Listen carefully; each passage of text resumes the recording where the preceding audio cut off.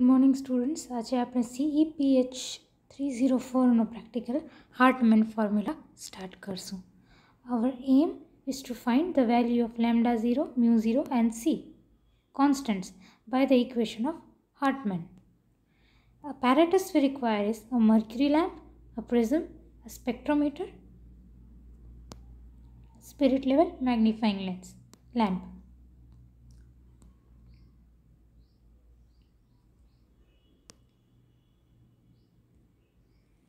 Good morning students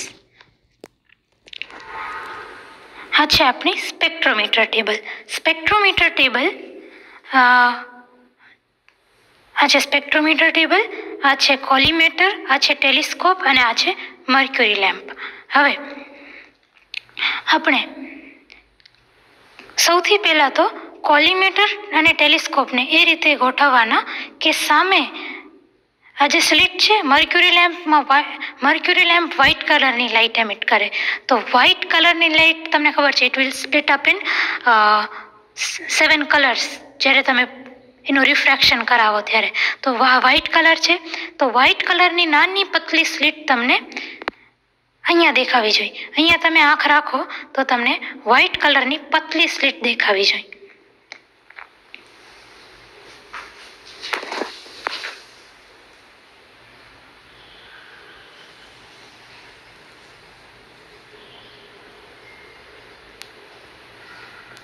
આમાં આંખ નાખશો તો વ્હાઇટ કલરની પતલી સ્લીટ દેખાવી જોઈએ.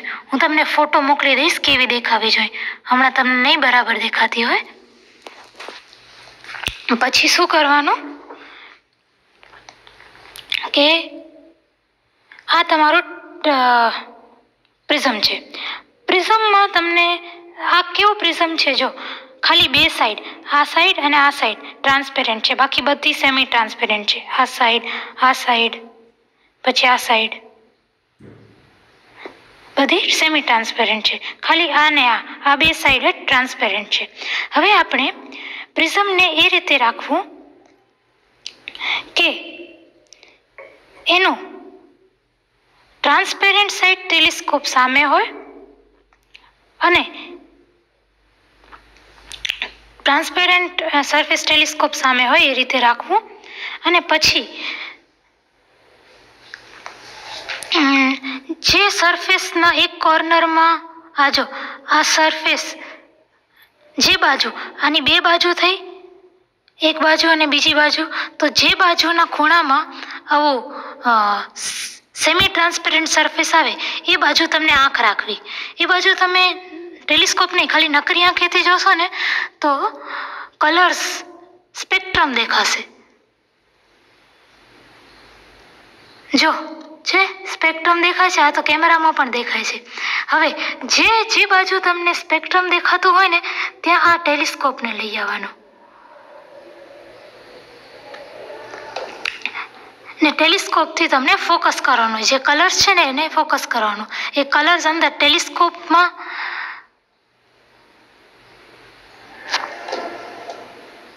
નથી બરાબર દેખાતા. હું તમને પિક્ચર ક્લિક કરીને મોકલી દઈશ કેવા દેખાય છે. અને કલર્સ જે દેખાશે ને, એ દરેક કલર માટે તમને રીડિંગ્સ લેવાના હશે. પહેલાં તો વ્હાઇટ સ્લીટ માટે રીડિંગ લેવાના હશે. સૌથી પહેલાં જ્યારે આપણે આ પ્રિઝમ નહોતું અને વ્હાઇટ સ્લીટ હતી, એના રીડિંગ્સ લેવાના હશે.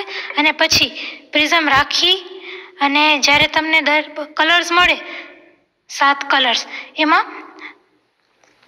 દરેક કલર માટે તમને અહીંયાથી રીડિંગ લેવાના હશે. રીડિંગ્સ કઈ રીતે લેવાના હશે અને સ્લીટ કઈ સ્લીટ એન્ડ કલર્સ કેવા દેખાશે હું તમને બતાડી દઉં.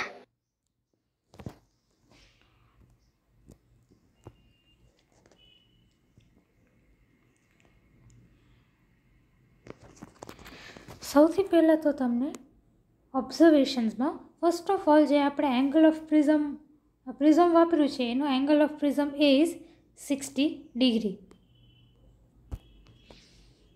and the least count of spectrometer table is one minute અહીંયા આ ભૂલ કરેલી છે. વન ડિગ્રી નથી. વન મિનિટ છે. તો આ વસ્તુ સુધારી લેજો. બતાવું તમને. લીસ્ટ કાઉન્ટ ઓફ સ્પેક્ટ્રોમીટર આ આ તમે સ્પેક્ટ્રોમીટરની સ્કેલ જોઈ હતી? સ્પેક્ટ્રોમીટરની સ્કેલ કંઈક આવી દેખાય. જેમાંથી મેં તમને રીડિંગ લેવાનું કીધું હતું. અને સ્કેલમાં લિસ્ટ કાઉન્ટ આપેલું છે વન મિનિટ હવે, સૌથી પહેલાં શું કરવાનું છે? કે આપણે સૌથી પહેલાં ડાયરેક્ટ રીડિંગ લેવાની છે ડાયરેક્ટ રીડિંગ ડાયરેક્ટ રીડિંગ એટલે શું?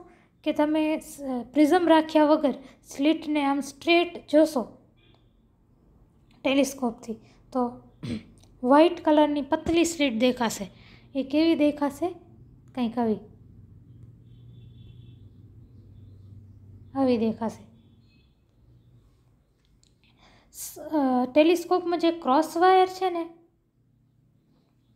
એ ક્રોસ વાયરને તમારે આ સ્લીટ ઉપર રાખો.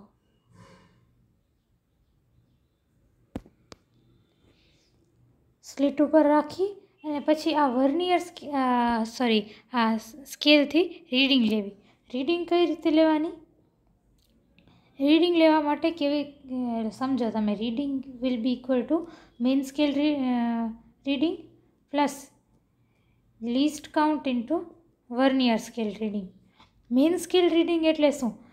વર્નિયર સ્કેલનો ઝીરો મેઇન સ્કેલ ઉપર કોના સાથે કોઇન્સાઇડ થાય છે?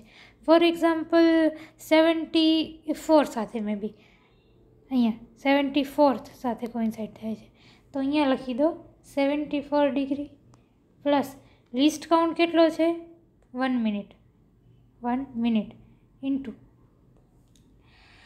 vernier સ્કેલનો વર્નિયર સ્કેલમાં ધ્યાન આપો. ઝીરો સિવાય ઝીરો સિવાય વર્નિયર સ્કેલમાં ઝીરો સિવાય કયો કાપો છે, કયો ડિવિઝન છે જે મેન સ્કેલ સાથે પરફેક્ટલી મેચ થાય છે? એ એ જો ધારો કે ફિફ્ટીન્થ મેચ થાય છે. તો અહીંયા વર્નિયર સ્કેલની જગ્યાએ ફિફ્ટીન લખી દો. તો કેટલો આન્સર આવશે તમારો?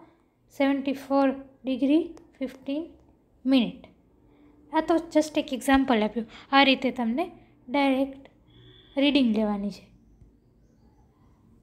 અને અહીંયા લખી દેવી. હવે તમને, તમે જ્યારે સ્પેક્ટ્રોમીટર પ્રિઝમ રાખશો, ત્યારે તમને એક સ્પેક્ટ્રમ દેખાશે. એ સ્પેક્ટ્રમના ત્રણ કલર, વાયોલેટ, ગ્રીન અને યલોની આપણે રીડિંગ લેવાની છે. સ્પેક્ટ્રમ કેવું દેખાશે? કંઈ કહું. આ છે આપણું સ્પેક્ટ્રમ ઓફ મર્ક્યુરી લાઇટ. હવે, આનામાં પણ તમને જો એ ક્રોસ વાયર દેખાય છે ટેલિસ્કોપમાં, એ ક્રોસ વાયરને સૌથી પહેલાં તો વાયોલેટ કલર ઉપર રાખવો અને આ સ્કેલમાંથી રીડિંગ લેવી. પછી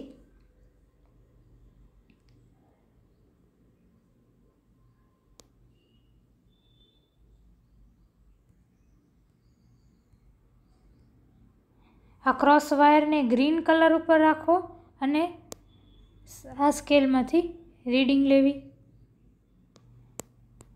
અને થર્ડ રીડિંગ આને આ જે તમારો ક્રોસ વાયર છે, એને આ યલો કલર ઉપર રાખો અને આ સ્કેલથી રીડિંગ લેવી. તો તમારા ત્રણ રીડિંગ્સ આવી જશે. તમને વાયોલેટ ગ્રીન ને યલોની વેવલેન્થ આપેલી હશે વેવલેન્થ ગિવન હશે now theta is equal to theta zero minus theta એટલે હવે શું કરવાનું? આ કોલમ મેળવવા માટે three fifty minus two nine three fifty degree one minute minus two ninety nine degree four minute તો કંઈક આવશે? Three fifty degree one minute minus three zero one degree fifteen minutes તો આવું કંઈક? Three fifty degree one minute minus three zero one degree twenty minutes તો આ આવશે પછી આ formula mu is equal to sine A plus theta by two divided by sine A by two આ formula વાપરશો? તો એ આપણું એંગલ ઓફ પ્રિઝમ કેટલું છે? સિક્સટી ડિગ્રી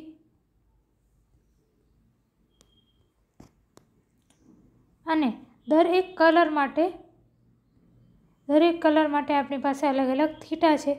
તો આ મ્યુવાળો ફોર્મ્યુલા જે છે એ વાપરીને આપણે દરેક કલર માટે અલગ અલગ મ્યુ મળી જશે.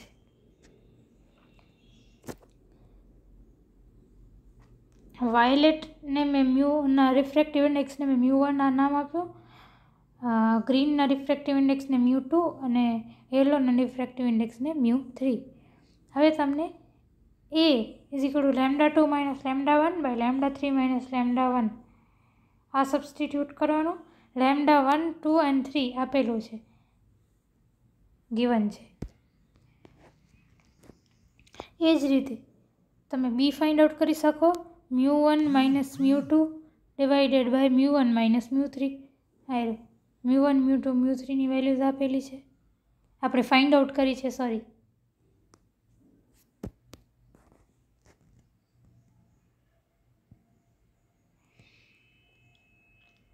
એ જ રીતે. Third mu zero is equal to A mu two minus B mu three divided by A minus B તો હવે આપણે એ અને બીની વેલ્યુ ફાઇન્ડ આઉટ કરી. મ્યુ ટુ અને મ્યુ થ્રી પણ ફાઇન્ડ આઉટ કરેલી છે. એ સબસ્ટિટ્યૂટ કરીને તમને મ્યુ ઝીરોની વેલ્યુઝ મળી જશે. C is equal to lambda three minus lambda one mu three minus mu zero mu one minus mu zero divided by mu one minus mu three lambda three and lambda one આ values આપણે given છે. Mu one mu three and mu ઝીરોની આપણે values find out કરેલી છે ઉપર. આ બધી વાપરીને તમે સીની વેલ્યુ મેળવી લો પછી lambda zero one is equal to lambda one minus C divided by mu one minus mu zero lambda વનની વેલ્યુ ગિવન છે. સી મ્યુ વન અને મ્યુ ઝીરોની વેલ્યુ આપણે ફાઇન્ડ આઉટ કરેલી છે. એ બધી સબસ્ટિટ્યૂટ કરીને આપણે લેમડા ઝીરો વનની વેલ્યુ કંઈક મળશે.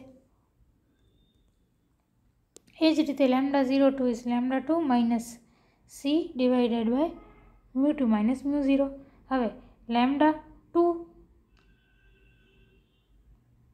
એની વેલ્યુ ગિવન છે. સી મ્યુ ટુ અને મ્યુ ઝીરોની વેલ્યુઝ આપણે ફાઇન્ડ આઉટ કરેલી છે. એ વાપરીને લેમડા ઝીરો ટુની વેલ્યુ મળશે. એ જ રીતે lambda zero three is equal to lambda three minus C by mu three minus mu zero આ બધાની આ બધાની વેલ્યુ સબસ્ટિટ્યૂટ કરીને લેમડા ઝીરો થ્રીની વેલ્યુ મળશે. So lambda zero now, at the end, lambda 0 is equal to lambda 0 1 plus lambda 0 2 plus lambda 0 3 divided by 3 lambda 0 1 2 ને 3 ની value આપણે ફાઇન્ડ આઉટ કરેલી છે. એનાથી આપણે લેમડા ઝીરોની વેલ્યુ મળશે. આ બધું તમે રિઝલ્ટ્સમાં લખી દો. રિઝલ્ટમાં મ્યુ ઝીરો સી અને લેમડા ઝીરોની વેલ્યુ લખી દો.